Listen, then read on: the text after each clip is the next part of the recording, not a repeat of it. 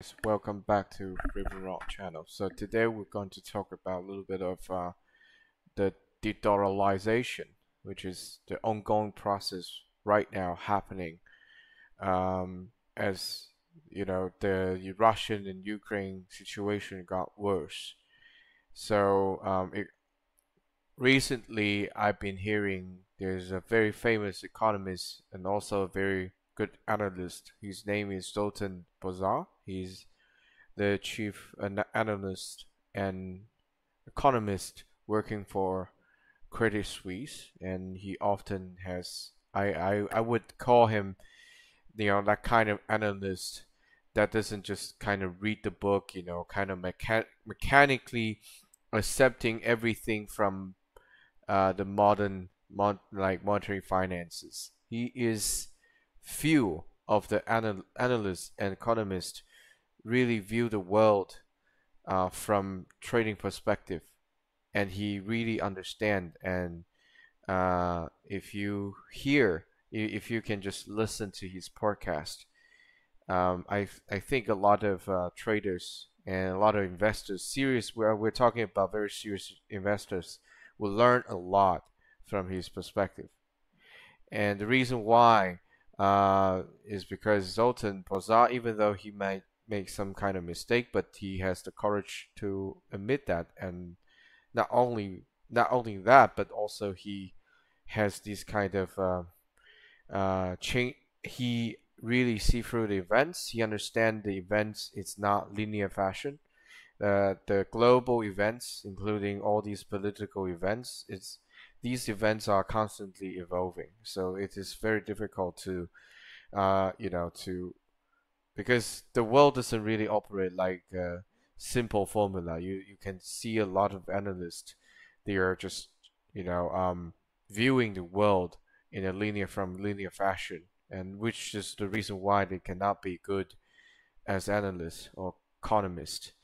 Uh, so anyway, Zoltan Pozsar, he recently um, came out with a very interesting idea, which he actually believes that we are uh, accepting or we are coming across to another phase of Bretton Woods, which he referred as uh, Bretton Woods System the Third, uh, which is the, the third phase of uh, Bretton Woods. So he claimed that um, the dollar system will gradually shifting from from a, a credit based currency system to a commodity based system. Uh, in if in a future episode, I will be you know explaining what would be the major difference between commodity based system and also credit based system.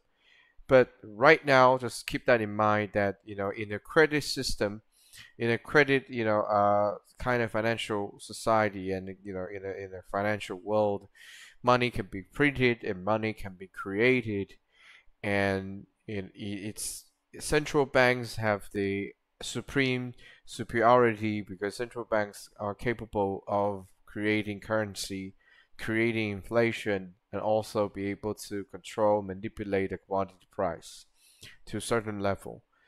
But uh, if we are going to a uh, commodity, I would say commodity-based credit system, that means we can only print money. Uh, it means we are going back to a go-back currency system, and then uh, you have a lot of. If you want to create currency, that you need to have physical back reserved.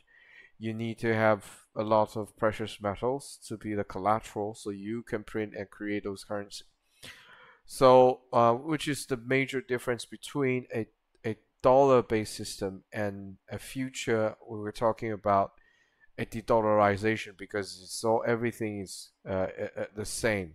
We're talking about de-dollarization. We're also talking about how dollar will be less important and how uh, Russia and China they're using their more currency. They're using their uh, very very powerful currency, which is commodity backed, and they're using their their edge, which you, we all know that Russia is one of the biggest and largest economy system, and they're also one of the largest export uh, exporter uh, in, in a financial market. Although uh, Russia may not have very advanced economic system and financial system, and it's you're you're not going to see very strong GDP out of uh, Russia. But anyway, uh, because Russia provides so much of uh, basic commodities that makes Russia a very very tr important trading partner in a global uh, financial system.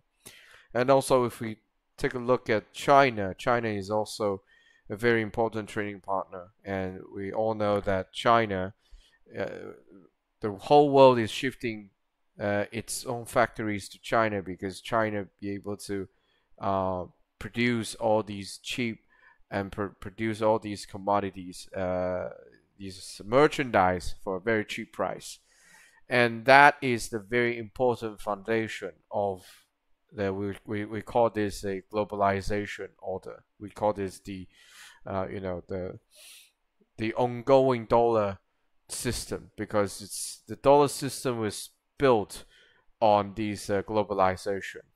And that's how a US economy is dominating the entire world is because um, they in in a globalization kind of structure um, US shifting all its uh, manufacturing and all these uh, supply chain uh, all these manufacturers to these emerging countries such as China. So they be able to bring down the cost, and also in the in a globalization system, uh, Russia is also the major major very important uh, materials and commodity provider which is hence why you have all these very important supply chain you have all these facilities that you be able to uh, shift and input all these commodities and you know becoming all these uh, uh, you know steels. We're talking about uh, merchandise. We're talking about all these uh,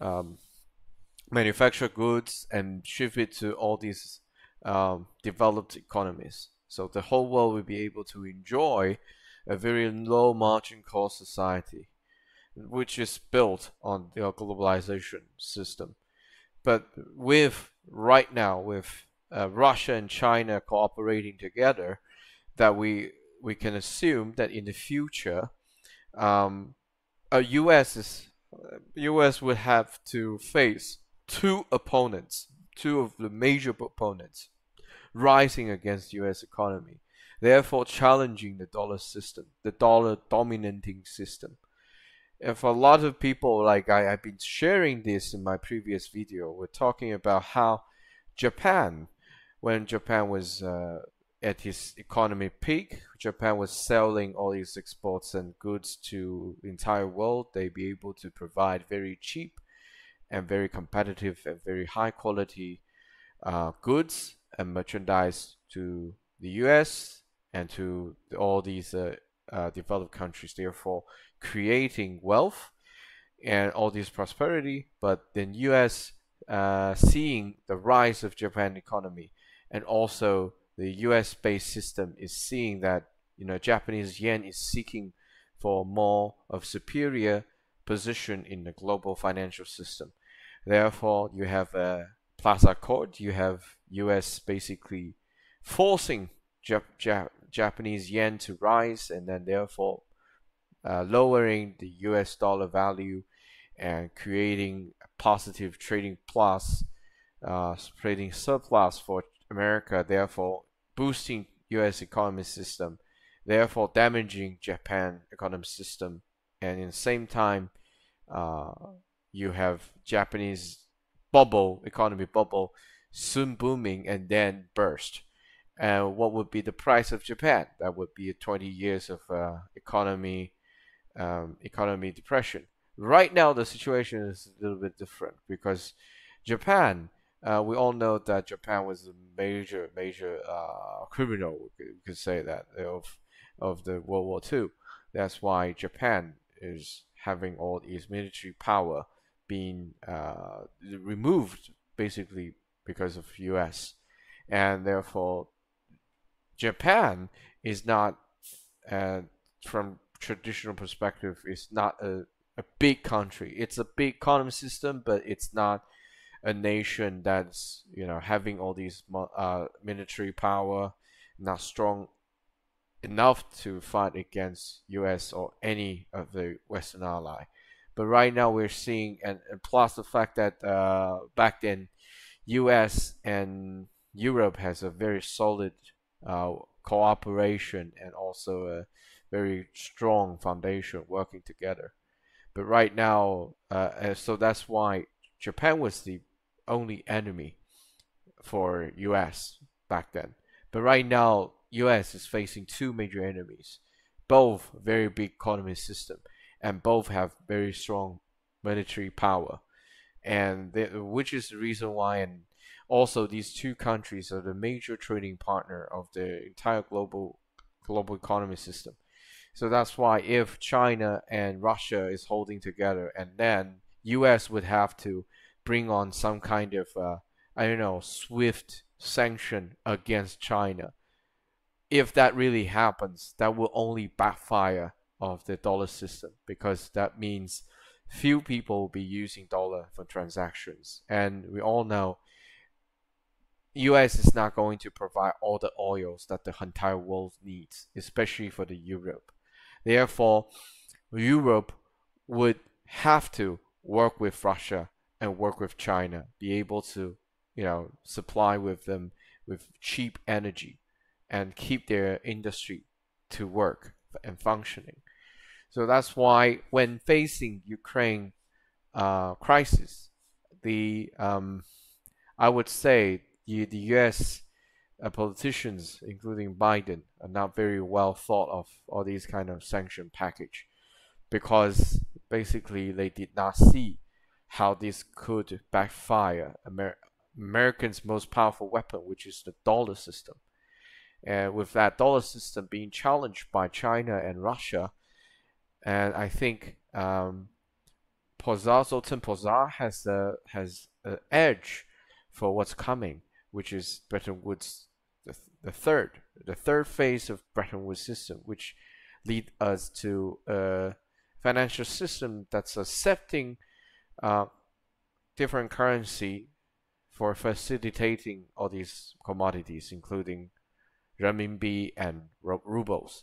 The People would be forcing, would be forced to use rubles and and Chinese renminbi to pay for their commodities and uh, manufacture goods. That means few of them will actually use dollar for settlement, and that will also create another um, divergence out of the current system. That means uh, we're shifting from a single polar system, which means dollar is the strongest currency, and every other currencies are the you know, minority. Shifting it from the other system, which is the dollar, is in decrease increasingly um, not important and you have more use and more transactions out of a different currency system. And that is so-called de-dollarization, which is a very simple concept. But in the next video, I will be explaining uh, in detail what what is the true meaning of de-dollarization. And I hope you guys uh, enjoy the content. And I, if you like my content, please share and subscribe and I'm a trader that's um, very interested in sharing my point of view with a lot of my subscribers. So in this channel, we share a lot